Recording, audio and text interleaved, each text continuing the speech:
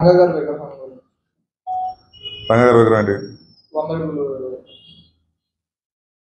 రంగా గారి విగ్రహం తెలుగుదేశం పార్టీ వంద రోజుల్లో పర్మిషన్ ఇస్తే వంద రోజుల్లో పెడతానన్నది అని అన్నారు కదా.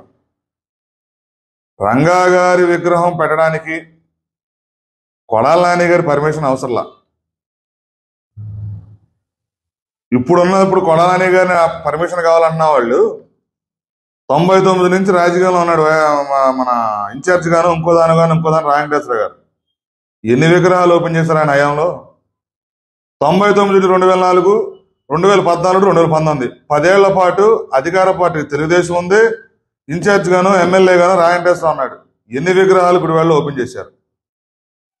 నెహ్రూ చౌక్ పుట్టి ఇప్పుడు డెబ్బై ఎనభై ఏళ్ళు పైన అయింది. ఆ చౌక్ ఏర్పడి.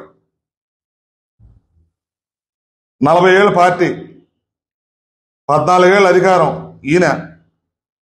అంతకుముందు తెలుగుదేశం పార్టీ ఒక పదేళ్ళ అధికారం ఉంది ఎనిమిదేళ్ళు సుమారుగా.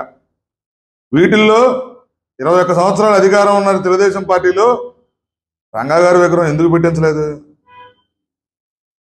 గుడివేళ్ళలో రంగాగారి మీద అంత ప్రేమ ఉన్న నాయకులు ఎవరైనా రెండు వేల పద్నాలుగు పంతొమ్మిదిలో ఎందుకు పర్మిషన్ తెచ్చి పెట్టలేదు?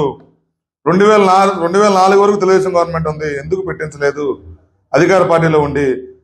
కాబట్టి ఈ ఎలక్షన్ స్టంట్లు ఇప్పుడు వచ్చే రంగా ఇవన్నీ మద అసలైన రా వెంకటేశ్వర శ్రేణులకు కానీ రా వెంకటేశ్వర ఆఫీసు నుంచి కానీ రంగా గారి పేరు ఎత్తడానికి పూర్తిగా అనర్హ అనర్హులు వాళ్ళు ఎందుకంటే ఈ రాష్ట్రంలో రంగా గారు చనిపోయినప్పుడు స్వర్గీయ వంగవీటి మోహన్ రంగా గారు చనిపోయినప్పుడు ఇన్సూరెన్స్ పేరిట నష్టాన్ని భర్తీ చేసుకునే పేరిట ఈ రాష్ట్రంలో అత్యధికంగా లబ్ధి పొందింది ఈ జిల్లాలో అయితే రాష్ట్రంలో అయితేనే రావి సోమనాథుడు గారి కుటుంబం. ఎన్ని వేల టన్నులు కలప. ఎంత డబ్బు. ఈ రోజు ఈ రా గారికి ఉన్న ఆస్తిలో సగం పైగా ఆస్తి ఆ రోజు రంగా గారు చనిపోతే వచ్చిన డబ్బుతో కొన్న ఆస్తి.